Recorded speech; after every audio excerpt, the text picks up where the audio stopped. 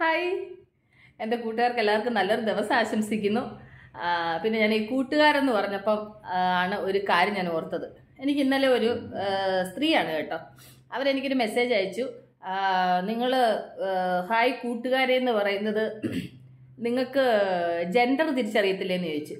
ആ ജെൻഡർ പറഞ്ഞാൽ ആണും പെണ്ണും തമ്മിൽ തിരിച്ചറിയത്തില്ലേ? നിങ്ങൾ എല്ലാവർക്കും കൂടെ കൂട്ടുകാരെ എന്ന് പറയുന്നതിന്റെ കാര്യം എന്തോന്ന് ചോദിച്ചു. ആ കമന്റ് അയച്ച് അവരോട് തന്നെ ഞാനൊന്ന് ചോദിക്കുക നമ്മൾ ഇംഗ്ലീഷിൽ എല്ലാവരെയും ഫ്രണ്ട്സ് എന്നേ പറയാറുള്ളൂ. Boy friend girl friend men friend woman friend ഒന്നും പറഞ്ഞ് പറഞ്ഞ് കേട്ടതായിട്ട് എന്റെ അറിവിലില്ല. നമ്മളെപ്പോഴും എല്ലാവരും ഫ്രണ്ട്സ് തന്നെ പറയുന്നത്. ഇപ്പം എനിക്ക് കൂട്ടുകാരെന്ന് പറഞ്ഞു കഴിഞ്ഞാൽ കൊണ്ട് പെൺകൂട്ടുകാരെ ആൺകൂട്ടുകാരെ എന്നൊക്കെ പറയാൻ പറ്റുമോ? അതുകൊണ്ട് മൊത്തത്തിൽ ഞാൻ കൂട്ടുകാരെന്ന് പറയുന്നത് കേട്ടോ. അപ്പോൾ അവർ ആ കമന്റ് ചെയ്തത് കൊണ്ട് ഞാൻ അതിനൊരു റിപ്ലൈ പറഞ്ഞതാ. പക്ഷേ എങ്കിൽ അതിനെക്കുറിച്ച് തന്നെ ഞാൻ നിങ്ങളുമായിട്ട് കുറച്ച് കാര്യങ്ങൾ ഷെയർ ചെയ്യാം. ഇതിൽ നിന്ന് നിങ്ങൾ മനസ്സിലാക്കിക്കോണം. നമ്മുടെ ജീവിതത്തിൽ നമ്മളൊരു നന്മ ചെയ്തു കഴിഞ്ഞാൽ ഒരിക്കലും നീ ആ ചെയ്തത് നല്ലതാന്ന് പറഞ്ഞിട്ട് നമ്മളെ അഭിനന്ദിക്കാൻ ഒരാളുണ്ടാവത്തില്ല. ഉണ്ടാവത്തില്ല എന്നല്ല കാണുമായിരിക്കും. നൂറിൽ ഒന്നോ രണ്ടോ പേര്.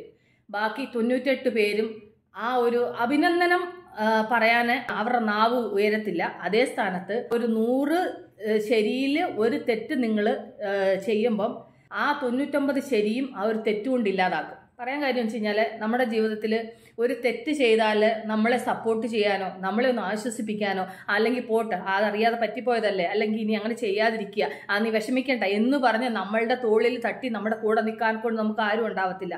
അതുപോലെ തന്നെ നമ്മൾ ശരി ചെയ്തു കഴിഞ്ഞാൽ നല്ലത് ചെയ്തു എന്ന് പറയാൻ നമ്മുടെ കൂടെ ആരും ഉണ്ടാവത്തില്ല. ഇതൊക്കെ ഓരോ ഉദാഹരണങ്ങളാണ് നമ്മുടെ ജീവിതത്തിൽ എപ്പോഴും നമ്മൾ വിചാരിക്കേണ്ടുന്ന കാര്യങ്ങൾ അതാണ് നമ്മുടെ ജീവിതത്തിൽ നന്മ ചെയ്യുമ്പോൾ നന്മ ചെയ്തു എന്ന് പറയാൻ ആൾക്കാരുണ്ടാവത്തില്ല പക്ഷേങ്കിൽ നമ്മളിൽ നിന്ന് അറിഞ്ഞോ അറിയാതെ ഒരു തെറ്റ് വന്നാൽ ആ ഒരു തെറ്റ് വിഷയമാക്കി എടുത്തിട്ട് ഏതൊക്കെ രീതിയിൽ നമ്മളെ തകർക്കാൻ പറ്റും നമ്മൾ ആ നിൽക്കുന്ന ആ പൊസിഷനിൽ നിന്ന് നമ്മളെ എങ്ങനെ ഇല്ലാതാക്കാൻ പറ്റും നമ്മളുടെ ജീവിതത്തിൽ നമുക്കുണ്ടായ സൽപ്പേരുകൾ നമ്മളുടെ ജീവിതത്തിൽ നമ്മൾ നേടിയെടുത്ത നല്ല ബന്ധങ്ങൾ അങ്ങനെ എല്ലാ കാര്യങ്ങളും എങ്ങനെ നശിപ്പിക്കാൻ പറ്റും നോക്കിയിരിക്കുന്ന എത്രയോ ആൾക്കാരുണ്ടെന്നറിയാമോ? നമ്മൾ മനസ്സിലാക്കേണ്ടുന്ന കാര്യം എന്ന് വെച്ചാൽ തെരി കാണുമ്പം നമ്മളെ അഭിനന്ദിക്കുകയും നമ്മുടെ തെറ്റ് കാണുമ്പം ആ തെറ്റ് തിരുത്തി തരികയും ചെയ്യുന്ന ഒരു നല്ലൊരു സുഹൃത്തോ ഒരു നല്ലൊരു വഴികാട്ടി നമ്മുടെ കൂടെ ഉണ്ടെങ്കിൽ ഒരിക്കലും അവരെ നമ്മൾ മറക്കുകയും ചെയ്ത് മാറ്റി നിർത്തുകയും ചെയ്യരുത് നമ്മുടെ ജീവിതത്തിൽ നിന്ന്. കാരണം അതൊക്കെ എന്ന് പറഞ്ഞാൽ ഒരു കിട്ടുന്ന ഒരു എന്താ പറയുക ഒരു ഫിക്സഡ് ഡിപ്പോസിറ്റ് എന്നൊക്കെ പറയാം അതൊക്കെ. അത് നമ്മുടെ ജീവിതത്തിൽ അതൊക്കെ അങ്ങനെയൊക്കെ കിട്ടുക എന്ന് പറഞ്ഞു കഴിഞ്ഞാൽ അത് വിരളിൽ എണ്ണാവുന്ന ആൾക്കാർക്ക് മാത്രം കിട്ടുന്ന ഒരു സൗഭാഗ്യം അതൊക്കെ.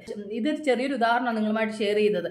തെറ്റുകൾ കണ്ടുപിടിച്ച് ആ തെറ്റിനെ എങ്ങനെയൊക്കെ ക്രോസ് വിസ്താരം ചെയ്തിട്ട് നമ്മളെ വേദനിപ്പിക്കാൻ പറ്റുമെന്ന് നോക്കിയിരിക്കുന്ന ആൾക്കാർ അനേകരുണ്ടാവും നമ്മുടെ ചുറ്റുപാട്. ഇന്നത്തെ കാലം എന്ന് പറയുന്നത് സ്നേഹത്തിന് വലിയ വിലയൊന്നുമില്ല. സ്നേഹം എന്ന് പറയുന്നത് എന്റെ ഒരു അഭിപ്രായത്തിൽ ഇന്നത്തെ കാലത്ത് മനുഷ്യർ സ്നേഹം കാണിക്കുന്നത് നമ്മളുടെ ജീവിതത്തിൽ നമുക്ക് സമ്പത്തും നമുക്ക് ആൾബലവും പേരും പ്രശസ്തിയും ഒക്കെ ഉണ്ടെന്നുണ്ടെങ്കിൽ നമ്മളുടെ കൂടെ ആളുണ്ടാവും. നമ്മുടെ ജീവിതത്തിൽ നമുക്ക് പണവും പേരും പ്രശസ്തി ഇല്ലെങ്കിൽ നമ്മുടെ കൂടെ ആരും ഉണ്ടാവത്തില്ല. പക്ഷേങ്കിൽ ഒരു കാര്യം ഞാൻ നിങ്ങളോട് പറയാം. നമ്മളുടെ കൂടെ ആരില്ലെന്നുണ്ടെങ്കിലും ദൈവം നമ്പുര നമ്മുടെ കൂടെ ഉണ്ട്. ഒന്ന് രണ്ടാമത്തെ കാര്യം നിങ്ങൾ യഥാർത്ഥമായിട്ട് നിങ്ങളുടെ ഹൃദയത്തിൽ നിങ്ങൾ സത്യസന്ധരായിട്ടുള്ള ആൾക്കാരാണോ? വേറൊരു വ്യക്തിയെ നിങ്ങൾ വേദനിപ്പിക്കാതെ വേറൊരു വ്യക്തിയുടെ കണ്ണുനീര് കാണാൻ നിങ്ങൾ ആഗ്രഹിക്കാത്ത വ്യക്തിയാണോ? ഇന്നല്ലെങ്കിൽ നാളെ. അത് നൂറ് ശതമാനം ഉറപ്പെന്ന് ഞാൻ എന്റെ ജീവിതത്തിൽ ഞാൻ അനുഭവിച്ച പല പാഠങ്ങളിലൂടെയാണ് പറയുന്നത്. നൂറ് ശതമാനം ഇന്നല്ലെങ്കിൽ നാളെ നിങ്ങൾക്ക് അതിനൊരു ഉയർച്ച ഉണ്ടാവും അതിനൊരു വളർച്ച ഉണ്ടാവും. അതിന് യാതൊരു സംശയവും വേണ്ട. എപ്പോഴും എല്ലാവരും പറയും ഈ പണം വേണം പണം വേണം. പണം വേണം ശരി തന്നെ. എല്ലാം പണം കൊണ്ട് തന്നെ സാധിക്കുമോ? അതും കൂടി നമ്മൾ ചിന്തിക്കണം. കോടീശ്വരനായ ഒരു വ്യക്തി ഭയങ്കര സീരിയസ് കണ്ടീഷനിൽ ഹോസ്പിറ്റലിൽ അഡ്മിറ്റായി കിടക്കുന്ന സമയത്ത് അവരുടെ റിലേഷൻ പറയുക ഡോക്ടറെ ഞങ്ങൾ ഇത്ര കോടി തരാം. എന്റെ പപ്പയെ അല്ലെങ്കിൽ എന്റെ അമ്മയെ ഒന്ന് രക്ഷിച്ചതാ. നിങ്ങൾ ലക്ഷങ്ങൾ കൊടുത്തിട്ട് രക്ഷിച്ചെടുക്കാൻ പറ്റുമോ ഒരു ഡോക്ടറിന്?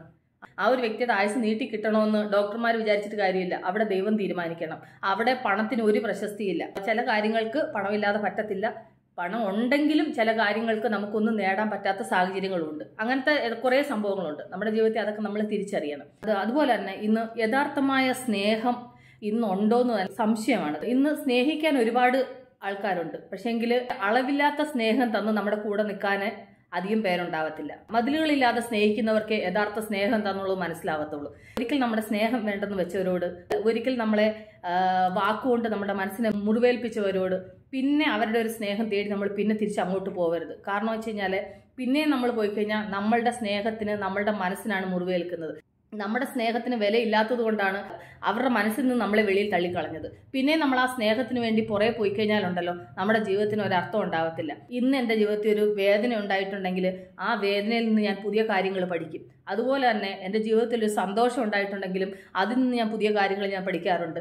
അതുപോലെ എന്റെ ജീവിതത്തിൽ നഷ്ടങ്ങൾ ഉണ്ടായാലും ആ നഷ്ടത്തിൽ ഞാൻ പുതിയ കാര്യങ്ങൾ പഠിക്കാറുണ്ട്. കാരണം നമ്മുടെ ജീവിതത്തിലെ അനുഭവങ്ങളാണ് നമ്മുടെ ഗുരു. കാരണം നമ്മുടെ ജീവിതത്തിൽ നമ്മൾ അനുഭവത്തിലൂടെ മാത്രമാണ് ഓരോ കാര്യങ്ങളും പഠിക്കുന്നത്. നമ്മുടെ ജീവിതത്തിൽ നമ്മൾ ആരും തികഞ്ഞവരായിട്ടോ നമ്മുടെ ജീവിതത്തിൽ നമ്മളെല്ലാം പഠിച്ചവരായിട്ടോ ഒന്നും ഉണ്ടാവത്തില്ല. ഞാൻ എപ്പോഴും പറയുന്ന കാര്യം എന്താണെന്നറിയാമോ ഞാൻ വേറൊരു വ്യക്തിയുടെ ഒരു കാര്യം പറയുമ്പം ഞാൻ എന്റെ സൈഡ് മാത്രം ഞാൻ ചിന്തിക്കാതെ ഞാൻ ആ പറയുന്ന വ്യക്തിയുടെ സിറ്റുവേഷന് ആ പറയുന്ന വ്യക്തിയുടെ സാഹചര്യം ആ സമയത്ത് എന്തായിരുന്നു എന്നുകൂടി ചിന്തിക്കാനെ കൊണ്ട് നമ്മൾ മറക്കരുത്. ചിലപ്പോൾ വേറെ ആരെങ്കിലും പറഞ്ഞായിരിക്കും നമ്മൾ എന്തെങ്കിലും ഒരു കാര്യം അറിയുന്നത്.